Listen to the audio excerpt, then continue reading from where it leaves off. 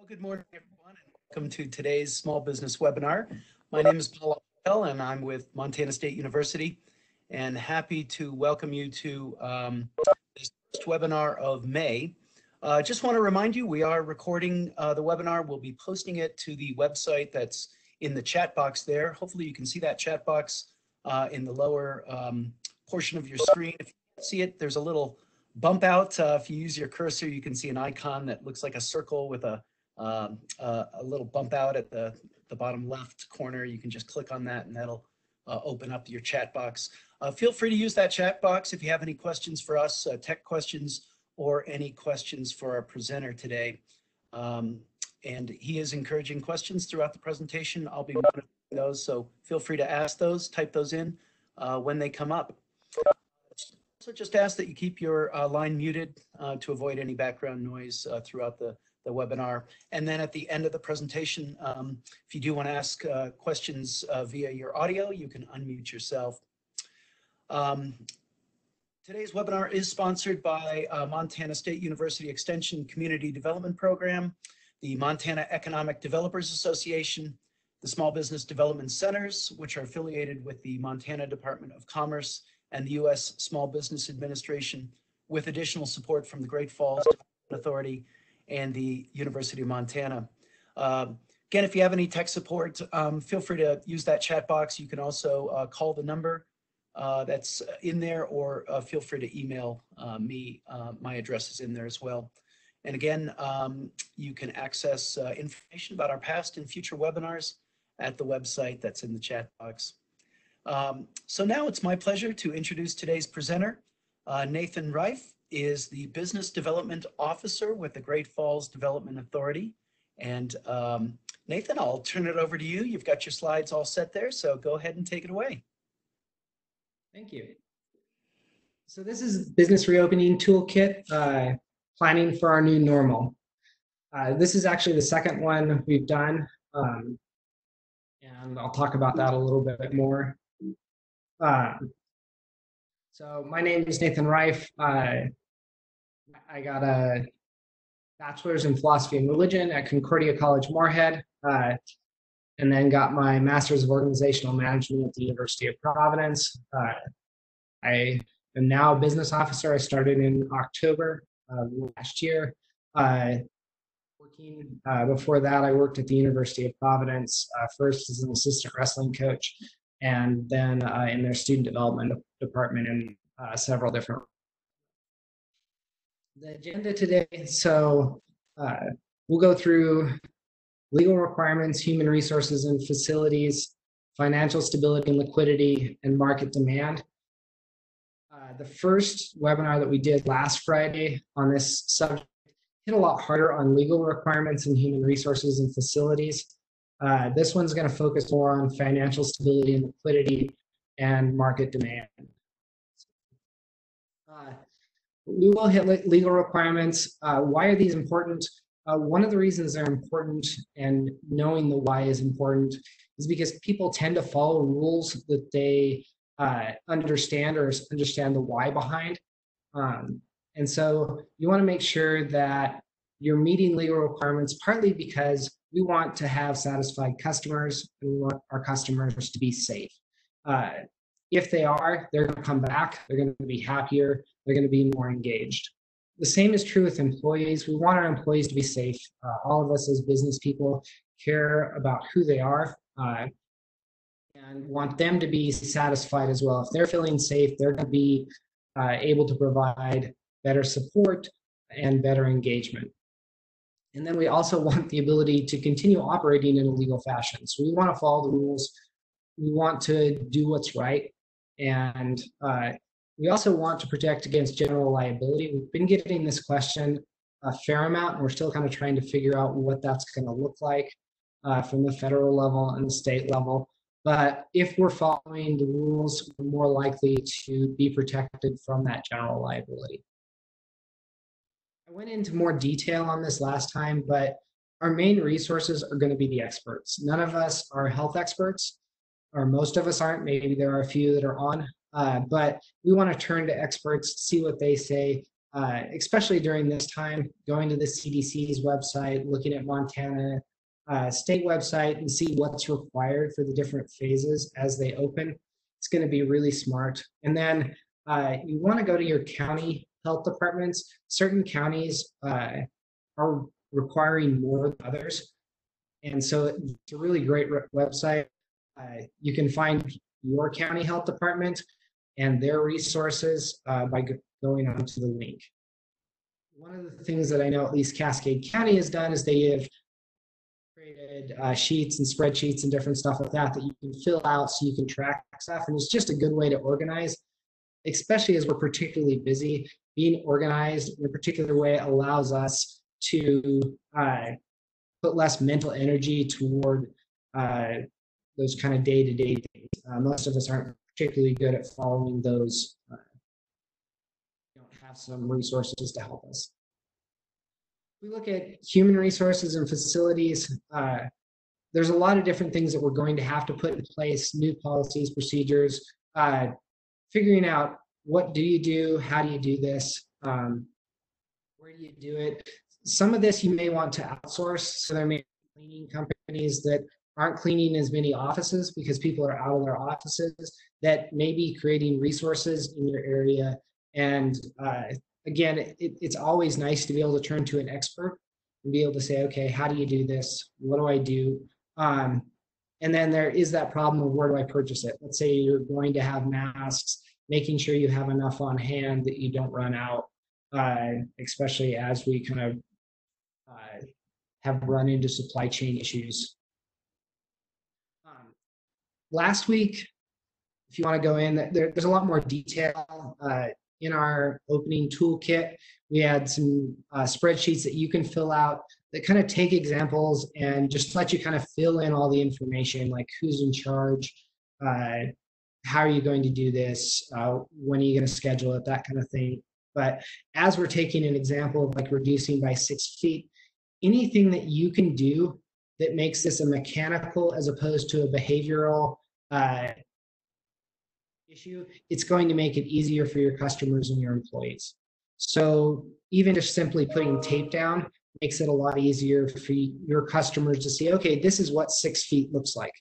Our normal distance from each other is may vary, but none of it's as big as six feet. So it's not a natural thing for us to do. So anything you can do to kind of help uh, mechanically put that in, because our behavioral tool as this becomes more normal are going to break down a little bit more.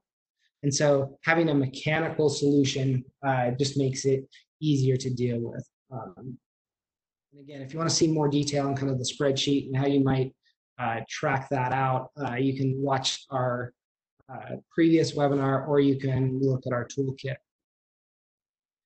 With that as well, you're going to deal with a lot of changing dynamics. And so going through and creating a list of each of these is going to be important. So what are your essential employees? Who are they? Where are they? How do you replace them if they're out sick or something's changed? Essential business function. So if you have a employee that runs an essential business or deals with a critical input, let's say your suppliers, you have a general manager that always deals with those suppliers. Now, this would be good practice, anyways, to kind of sit down and say, okay, where do we have that list of all suppliers? Uh, but I know in most of the businesses that I've worked at, somebody kind of took care of that and I didn't have to think about it. So easy to not worry about. This is a time where you really want to make sure those things are in place, they're written down, you know where they're at, and you can find them even if you can't go into work. So let's say we shut things down again. You want to be able to get those online, to find them, to look them up. Um, you need a contact tree so you make sure that you can reach out to employees. Uh, how are you going to do that? So creating as many plans as you can for the possibility of changing dynamics is really going to help you function uh, throughout this uh, time, especially as things change up and down. We're in a phased recovery. Will that phase move forward? Will it have to move back? and making plans to kind of deal with that on a day-to-day basis. So if you use that toolkit, you can kind of go in and at least plan out some stuff. Uh, we have some blank forms in there so that you can print them out, uh, write them down. That way, everybody knows where they're at, everybody knows where to find them, and they can use them. Anytime there is uncertainty, people take advantage of that to uh, try to earn some money for themselves. So cyber threats have definitely come up. We, we emphasize this every time we talk. Make sure that your calls.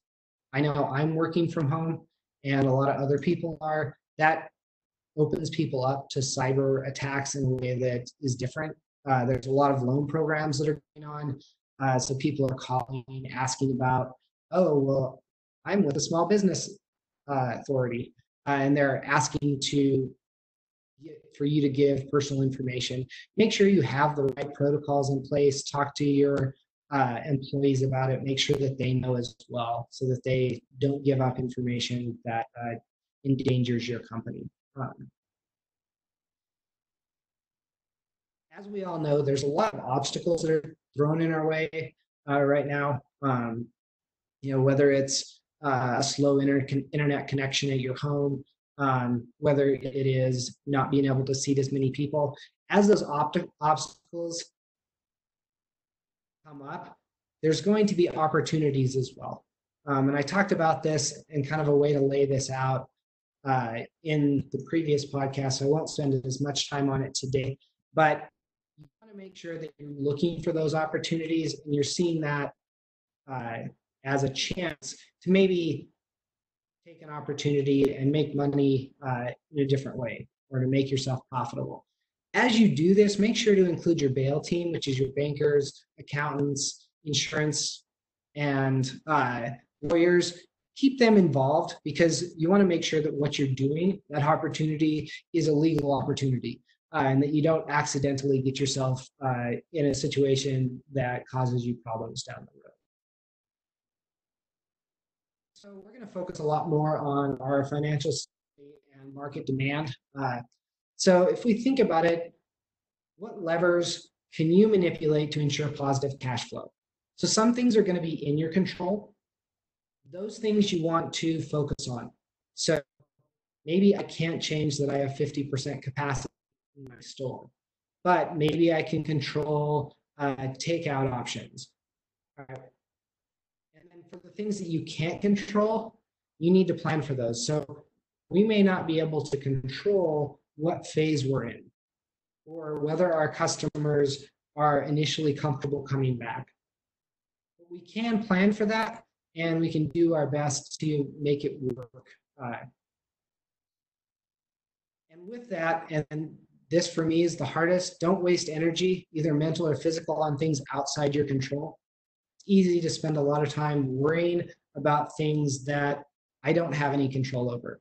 And this is hard to do, but as much as you can, don't waste your energy there. You have a limited amount, put your energy on the things that you can control. So liquidity. So liquidity is your available liquid assets. Uh, basically, this is cash. So what cash do you have? And then some things we sort of as liquid, we always need to consider, especially in a downturn, how much value can they have? So a tractor is not the same as cash. I can't automatically sell it, especially in a downturn. I may have to uh, lose some money. Somebody may be getting a really great deal on a tractor if I have to turn the tractor into cash during a downturn. And this is true for a lot of different uh, things in your business. So we want to make sure that you have the liquidity uh, that you have, especially should this go on and banks maybe tighten their lending practices. Um, the government has done a lot to keep this from happening, but if it does happen, you want to make sure that you have the cash that you need when you need it. Um, and that takes kind of some reflection back. So as we as you reflect back, um, you want to ask yourself, with this, um, how was my cash flow beforehand? and you want to be honest. Uh, you know, if you had to take out loans beforehand, then be honest about that. Why did I have to take those out? Now, it could be that you were flush with cash, doing great, really profitable before, and you just need to return to profitability. You just need to get back on the track that I was on. Um, but it may be that you didn't have good cash flow to begin with. So um, this is similar to, you know, a lot of us around the new year try to stay in shape. Uh, you know, some of us do good at that, some of us don't. Um, that's kind of the same thing. What kind of business, what kind of shape are you in? And when I, so I went in for knee surgery and was talking to my doctor, and the doctor said, you know, the biggest thing you can do before you go in for your knee surgery is be in as good a shape as you can be in, because the stronger you are going in, the stronger you are going out. So kind of be aware of that. So as you think about that, one way to do that is looking at a 13 week rolling cash flow. And if you look at this website and uh, it, it's got a great tutorial on how to do this, how to look at it. And um, it's a great way, especially in changing times like now, to be aware of what's happening. Most of us can't really project out where we're going to be. But if we're looking at it, seeing it, seeing it in a spreadsheet in a way that you can visualize it, then you're going to have a better idea going forward. And during this time, especially during this time as you're reopening, or if you're going along and just the uh, pandemic has hit you in certain ways, monitoring that weekly is going to be really useful. You're going to want to be able to say, okay, this is bringing money in, this isn't, and how do I adjust? Right? I'm not making as much as I thought projected. You know, do I need to cut staffing? Do I need to talk to my bank? Uh, do I need to apply for a line of credit? You know, what, what is that going to look like? That's going to be based on each individual company, but you're going to want to monitor that a lot more closely and make sure that you have enough so that it's not, you know, even three days before payroll and you realize you don't have enough to cover that and need to make adjustments. So let's say that you don't have the cash uh, flow. Um, you're not in as good a shape as you'd like to be. How do you change that? Uh, one is to set goals. You know, what is your liquidity goal? Do you need to have two months of liquidity? Do you need three? Uh, and then how do you improve that? So you can kind of do some forecasting of looking at, all right, you know, if I put a thousand dollars toward my cash assets, my cash position, where when will I get to my goal? With that, I've always been told this is the only way to do that in some ways is to pay yourself first. It's really easy, especially during tough times, to kind of hit the end of the month and you're always out of money. So there's not enough money to go into a savings account. This is particularly hard now if you're kind of just getting by. And so I don't want to minimize that, but as much as you can, you know, especially if we see a improvement in your business, making sure to increase your cash position is going to be really important. It's always easier if you make it automatic. If I had to decide at the end of each month how much I was going to put in retirement, I probably wouldn't put as much in as I can set when uh, just thinking, all right, we'll just make it automatic and make it part of your budget. Okay, it's just budgeting in, all right, how am I going to get to that cash position that I need? And let's just put that in beforehand so it's not an afterthought. It's not something I'm doing uh, after the fact. Um, and as we think about that and think about how do we do that, we think about it, there's only really four ways to impact net profit. Um, so those are sell more units, raise your prices, decrease variable costs, and decrease fixed costs. So how do we sell more units? How do we get more of those butter uh, units to come off our shelf. Uh, you know, maybe it is during this time to do more online sales.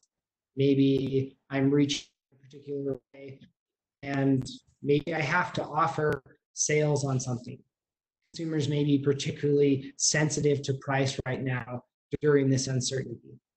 Maybe it's leaning on your particular customers that are particularly good customers.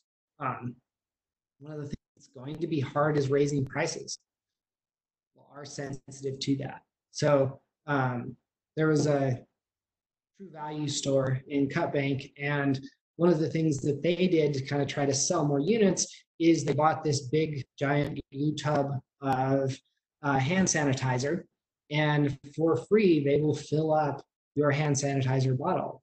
Well, they don't make any money on that, but if people are coming in, they're more likely to pick something up. They're more likely to be appreciative and buy from them as opposed maybe to picking it up on Amazon because they've already come in to fill that bottle. So uh, there's kind of some creative ways of selling more units, but uh, kind of figuring out that and how to do that. If you can't do either of those, then the only way to do is decrease variable costs or fixed costs. Maybe you've already talked to your landlord to see if there's a break you can get for a while on your rent. Uh, maybe you've gone to a different supplier to pick up a, as a cheaper option. Uh, maybe you've had to not bring a uh, hourly employee on. Uh, maybe you've had to not pay yourself, things like that. So those are hard decisions, and they're going to be company by company based. Uh, but uh, you're going to kind of have to look at all of those if you're going to improve your cash position. So that'll include things like reviewing your business plan, trying to figure out, you know, I've cut expenses. Uh, as I reopen, what expenses are going to come back online? Um, you know, how am I going to pay attention to that? And that's that 13 week rolling average. If I increase expenses and all of a sudden my revenue is not keeping up with that, you know, maybe I need to make sure that I adjust those. Um, maybe you've got new product lines, new service lines, things that have come online like uh, online drink orders or takeout drink orders. You know, how, how do you look at those new product lines? Um, do they continue? Were they making you money? So this is something that Jason always emphasizes is that, you know, if I'm losing money on a product, if I sell more of it, I just lose more money. So if delivery is costing me money, then maybe I need to lose that as I'm kind of ramped up. It worked because it kept people engaged and kept employees around, but maybe as I ramp up, I need to drop that. Maybe I need to double down on it. That's going to kind of depend on your business. Um, and kind of always keeping track of what those differences are. Lastly, there's there's a lot of loans, grants. Montana just came out with a bunch of grant opportunities that are this morning. Uh, generally, if you can get money that you don't have to pay back, it's a good idea. But you need to make sure that you fit that program and that you're doing the monitoring and reporting that is required. If you don't know if you can do that, if you need to check in, it's another time, reach out to your bail team. Uh, and make sure to know all the rules. You know, if you took out the PPP program, make sure you're using it how it's supposed to be used. Uh, put reminders in if, if there's reporting deadlines, if there's things that you need to do. Most of us are really down on our bandwidth right now. We're really struggling to keep up with all the things that we're thinking about, especially with our stress level going up. Uh, if you can put tools in, if you can help have other people help you, that's going to make a ton of difference with those requirements. Then if we look at market demand, um, consumer demand has changed and it will probably not come back to what it was. Um, it may in certain areas, but it will certainly be changed. Um, if you haven't yet, look at our hibernation toolkit. It's got a lot of ways to kind of reflect on what your business is, uh, what your business is becoming, where it could go, things like that. Uh, in this podcast, we don't have enough time to get into that detail, but it's really valuable as a resource. Um, and then also the resiliency guide gives you a lot of tools for, hey, what can you do at different times? But as we're looking at market demand, you want to be realistic and honest. Okay, just because you can have 50% capacity doesn't mean that you will. There may be a certain percentage of your customers that aren't yet ready to come back. Um, so you need to know your customers, know where they're at. And a lot of us, when, or a lot of businesses, as things were going well, they didn't have to really drill down on that, figure that out. But as a crisis hits us, we're going to need to do a better job of looking at that because we don't have enough revenue that we can waste it on uh, not getting the returns that we need to get. So, you know, what has changed? If we look at like Disney parks, crowded bars, uh, airplanes, look at those pictures, you know, are people going to be comfortable being in an atmosphere like this after it? Uh, and remember, to be a business, the two things that are required are a paying customer. So I guess that's one thing. Um, but you need to make sure we get them back. How have things changed? How do we know about our customers and how do we make them feel safe and comfortable? If you look at the picture of the airplane, you know, would that make you feel comfortable? Are you feeling like you're separated enough with that? Um, and this is going to be kind of at all levels, we're going to have to make these adjustments and find those paying customers. With that, you need to reflect on who you are. Um, you're going to want to make sure that as we kind of evolve and change, it's easy to kind of just let that happen to us. We're going to be better off if we know our business's personality because you're going to be able to focus on this is the core of who I am. Now, this is a little bit like personality for people. As a person, okay, I can do things that aren't in my personality, but it requires extra energy. You want to know when you're doing that and kind of make sure that you uh, can kind of adjust back to your core. The other thing about knowing your personality, who you are, what the heart and soul of your business is, it's going to allow you to tell your story. And telling your story now is going to be even more important than ever. So let's say you're a pizza shop and uh, you're hearing about uh, all these people that are making sourdough starters it's going to allow you to say, okay, at our personality, we have a sourdough starter that we make all our dough from. How can we tell that story to everybody to kind of make it relatable and show them that we're like them and that we're connected with them? And this is going to start with empathy. And that's the ability to understand and share the feelings of another. So if you can understand your customer, know who they are from their perspective, you're going to do better. Um, and especially during this time, we want to lead with empathy. People understand and know that when they're understood, they're more likely to spend money in your store. They're going to want you to be successful, and that's going to make you more likely to be successful. And it's also going to make them more likely uh, to continue to come back and to relate to you. One way you can do this, and this is pulled directly out of the hibernation toolkit, is look at yourself before and after. Okay, do this reflection, write down what was I like before, what was I like after?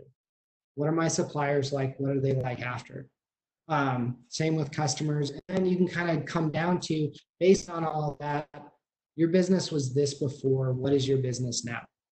And then you can make that decision about, all right, does that fit with who I am and how that works? With this, you want to try stuff. Okay. That lean business model where you kind of get rid of uh, extra waste, but you're trying something, learn from it, try another iteration. You know, maybe you want to try uh, take out drinks. Does that work? Maybe you want to try a uh, buy dinner and you can take breakfast with you to go for tomorrow morning. If we think about this time, one of the things that crises do is create a lot of problems, and businesses are really good at finding solutions. And that's where your opportunity is. If you have a problem, okay, you find a solution. It's an opportunity for you to make money and for people to engage with you. So down to my final thoughts. This is not a time to go it alone. You're not going to be able to survive and thrive in the way that you would like if you're not getting help. Uh, that's at bail team, support advisors, GFDA, SBDC, reach out to them, find support, and don't be afraid to ask for help. Uh, take those opportunities. Um, SBDC's coaching is free, so make sure to reach out to them. So is GFDA. Uh, but you know, find that um, and use the resources that are available to you to make sure that you have what you need and can reach out. this is GFDA's coaches. Uh, you want to look into them, you can look at the other regional offices as well if you're outside uh, the Golden Triangle and make sure to stay connected with us. So, uh, Paul, that's my presentation. Um, any questions that I can answer? Great. We've got a few minutes for questions. If anyone wants to type them in the chat box or unmute yourself and um, hopefully it doesn't get too chaotic. We don't have too big a group uh, on the line today. So feel free to type those in. We did have um, an individual asking about where the presentations, uh, the past recordings are.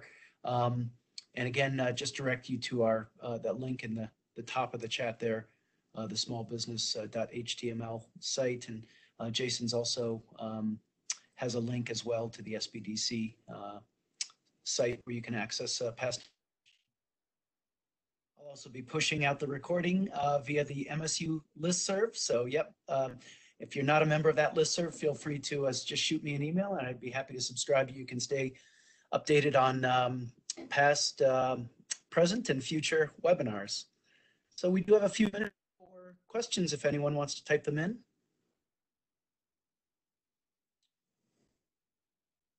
While we're waiting for that, um, Nathan, do you have any, um, any other thoughts on um, kind of the road ahead, or do you have any final comments for us uh, in terms of what you're expecting um, maybe the next few weeks in terms of uh, your work there at the office? I think trying to figure out, like, I guess how the grants are going to work is going to be uh, an important thing. I think um, I see as one of the uh, big things is kind of the uncertainty that everybody is feeling uh, and how to plan for an uncertain future. Uh, I think there's going to be uh, a lot that is up in the air as much as everybody is trying to plan. I think that's going to be uh, the more time you can spend in reflection and planning, the better off you're going to be. And uh, the more you can improve cash flow uh, in whatever way, uh, that liquidity, I think, is going to be pretty important.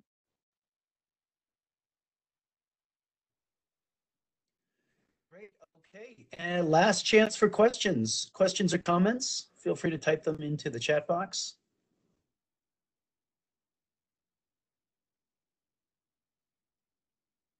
And seeing none, um, all right, well, maybe we'll just wrap up.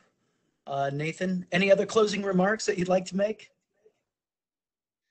Uh, thank everybody. Um, the other thing is, you know, pay attention to your customers. I think uh, now is a great time to engage them uh, because I think they're paying a little more attention sometimes. And so engaging customers, uh, knowing what they want and who they are is going to be really important. Great. Well, Nathan, thanks so much for the great information today and uh, to all of you for joining us. Uh, thank you so much. We'll be posting the recording as soon as it's available, uh, probably um, uh, tomorrow or Monday. And uh, feel free to share any of the links. All of our recordings, uh, accessing them are free, um, as well as the listserv and future webinars. So with that, I'll wish you all a good day. Please stay healthy and stay positive. Thanks, everybody. Bye now. Thanks, Paul.